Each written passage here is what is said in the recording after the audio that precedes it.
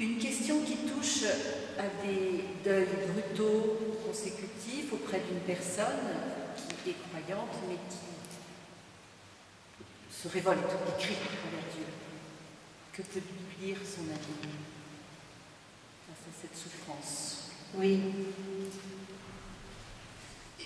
Il ne faut pas donner comme thème le mal en une parce que nous avons besoin d'une vie vous, voyez bien, toutes les questions qui sont là ouvrent des, pans entiers de la foi. Mon Dieu, mon Dieu, pourquoi m'as-tu abandonné?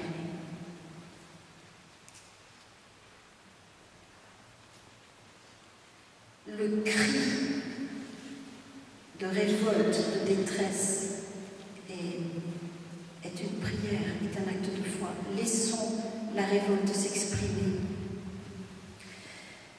je vais commenter pour cette personne. Je vais essayer de vous commenter brièvement, simplement, ce cri de Jésus sur la croix. Pour moi, c'est un cri de détresse infinie qui légitime toutes nos détresses infinies. Mais ce n'est pas un cri de désespoir. Faites-vous une différence entre la détresse et le désespoir. Mon Dieu, mon Dieu, je ne change pas de Dieu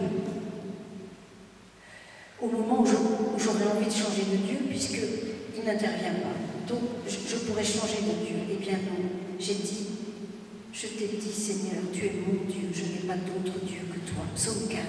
Mon Dieu, mon Dieu, pourquoi m'as-tu abandonné? Ce cri aurait été un cri de désespoir si Jésus avait crié Mon Dieu m'a abandonné, comme un constat à la troisième personne du singulier. Dieu n'est plus là. Mais il lui parle encore. Il lui dit Tu, pourquoi m'as-tu abandonné? Donc il s'adresse à quelqu'un. le Christ nous sauve non pas de la finitude, mais de la solitude. Il ne meurt pas seul puisqu'il s'adresse à quelqu'un. En lui disant la question de l'enfant, tout enfant entre dans l'existence avec pourquoi Pourquoi Pourquoi si Pourquoi ça Pourquoi Pourquoi m'as-tu abandonné? Et si Jésus pose la question du pourquoi, c'est qu'il attend une réponse. Eh bien, ce cri de détresse infinie qui n'est tout sauf un désespoir, Madame, sentez-vous, ou Monsieur, je ne sais pas, sentez-vous habité dans un deuil aussi cruel, dans une injustice pareille, par euh, ce cri de Jésus qui épouse notre souffrance jusqu'à la faire sienne, jusqu'à son agonie la plus terrible. Paul Claudel qui disait Jésus n'est pas venu expliquer la souffrance, ni même la résoudre, mais il vient la remplir de sa présence. Il vient la remplir.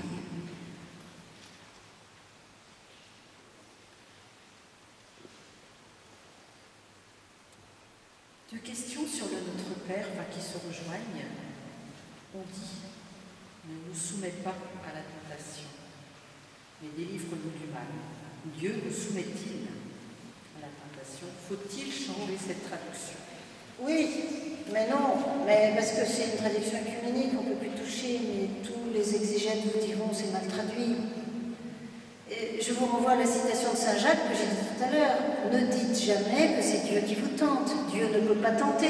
Comment voulez-vous que Dieu tente Puisqu'il n'y a pas de mal en Dieu? Dieu ne peut pas nous tenter. Euh, ne nous met la tête sous l'eau. Lorsque nous sommes tentés, ne nous met pas sous. Sous, mettre, c'est mettre dessous. Ne permet pas que je sois mis dessous, que j'ai le dessous, quoi. Que le mal est le dessus. C'est ça que ça veut dire. Ma vieille mère qui a 92 ans, c'est très difficile de dire Notre Père avec elle, parce que ça fait 30 ans qu'elle elle a changé moi je prie avec elle tous les jours, c'est difficile. Alors elle, elle dit, euh, pardonne-nous nos offenses comme nous pardonnons à ceux qui nous ont offensés. Fortifie-nous dans nos, tentations et délivre-nous du mal. Et ça fait 30 ans qu'elle dit ça. Alors, quand on dit ensemble, ça, mais elle y va vaillamment. Le problème, c'est qu'on a une traduction commune. Mais fortifie-nous, rends-nous forts dans la tentation. Et, ce qui nous forts dans la tentation, Jésus nous dit, la prière. Vous n'avez pas pu veiller une heure avec moi Veillez et priez pour ne pas entrer en tentation. Et comme de toute façon, nous savons pas en face, il nous tente, pour pas qu'on ait le dessous qui est dessus, fortifie. Rends-nous forts. Allez voir les notes de la tome et de la BJ.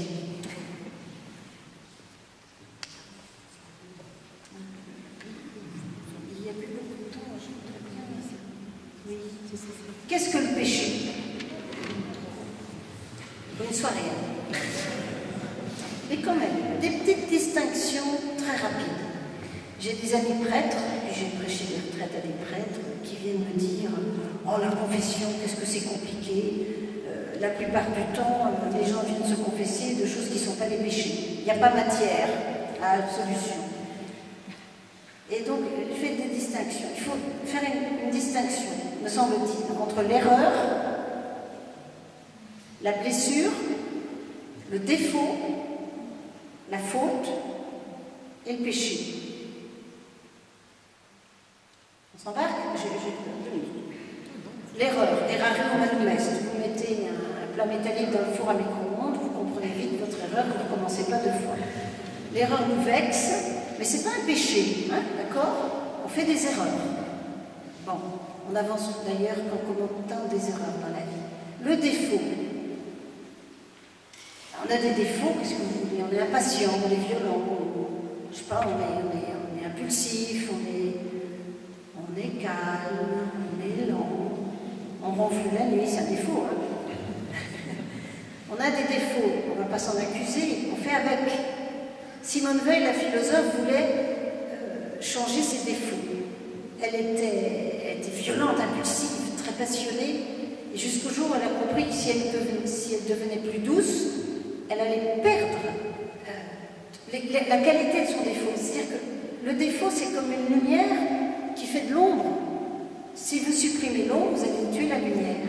On a toujours le défaut d'une qualité quand j'étais prof, euh, je ne mettais jamais dans un bulletin euh, élève timide ou ne parle pas assez, parce que les enfants qui ne parlent pas, évidemment, c'est un défaut dans notre société bavarde il faut claquer, il faut. Mais un, enfant qui ne parlait pas, c'était souvent un, enfant qui avait une vie intérieure, une imagination. Euh, voilà, si vous supprimez le défaut, vous supprimez la qualité. N'allez pas vous confesser pour votre défaut. Le défaut n'est pas un péché. L'erreur, le défaut, la blessure. Ça, J'aimerais bien que l'Église invente un huitième sacrement, le sacrement de la compassion, qui n'est pas l'extrême-onction ou le sacrement des malades. Mais on, pense qu'on se culpabilise des blessures qu'on a reçues dans l'existence. Une blessure, c'est une blessure. Alors, la faute et le péché, c'est déjà plus. La faute, pour trouver sa faute, il faut regarder Judas. Judas regarde la loi, il se coupe de la communauté, la loi le déclare coupable. Il reconnaît sa faute et il va se pendre. C'est ce que j'ai dit au début, le mal peut être dangereux. Pour, regarder, pour trouver son péché, le péché est souvent greffé sur une faute, mais pas toujours.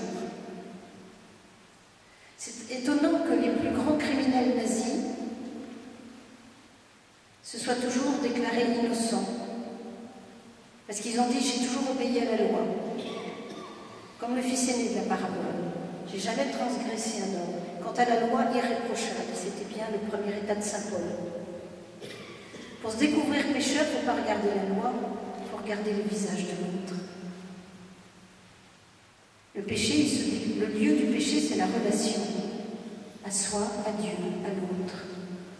Je ne regarde pas la loi, je peux être sans faute et cependant un grand pécheur.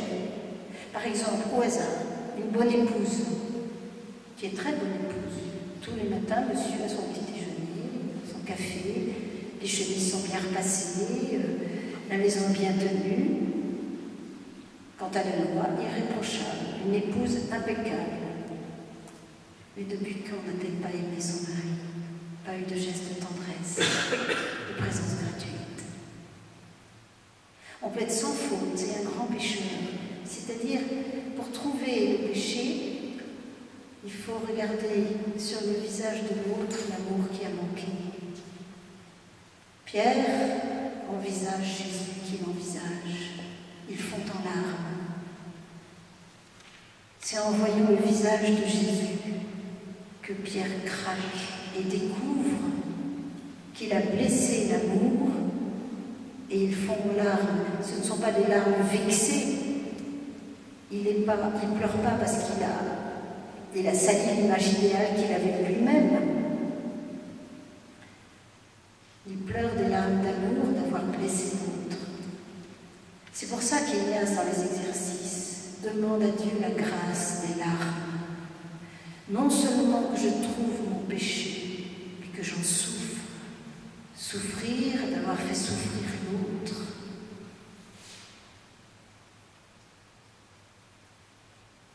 Trouver sa faute, il faut faire un examen de conscience. Pour trouver son péché, il faut faire un examen de confiance.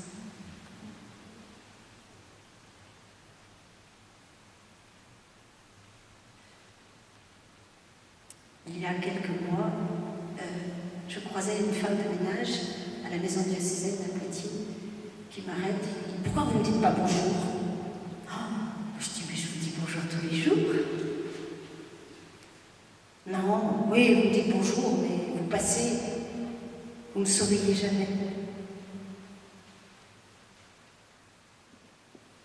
On peut être en règle avec la loi, on n'est jamais en règle avec l'amour. Depuis, j'essaie de lui sourire, en plus de lui dire bonjour. J'attends toujours de lui dire quand est-ce que vous passez chez moi pour un café? C'est infini. Vous voyez, la dette de l'amour est infinie. Le péché est infini. La loi, elle est finie. C'est facile de trouver ses fautes.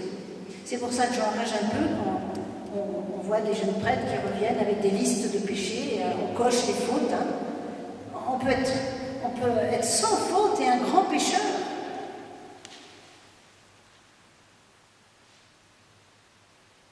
J'étais contente qu'on ait posé la question qu'est-ce que le péché Le discernement, la repentance. Voilà, la repentance, c'est l'amour qui s'exprime. La repentance, oui, c'est l'amour qui s'exprime. Je, ne, regrette pas d'avoir sali l'image idéale que j'avais de moi. Moi, j'ai quand même été capable de quelque chose qui n'est pas bien. Donc, c'est narcissique, c'est encore soi.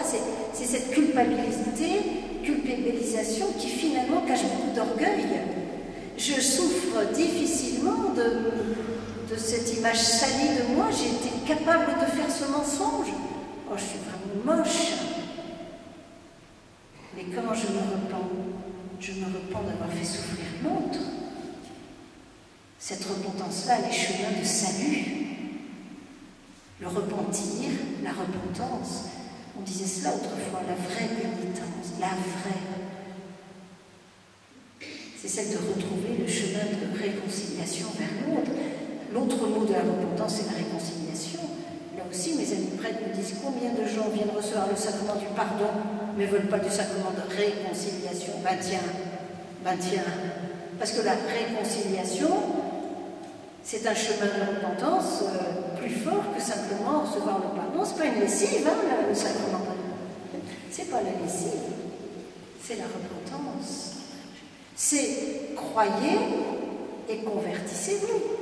C'est recevez le pardon de Dieu et vivez en enfant de lumière. C'est ce que j'ai dit tout à l'heure. C'est ça la repentance, c'est le chemin de la vie. Oh, souriez, vous êtes grave. Merci. Merci.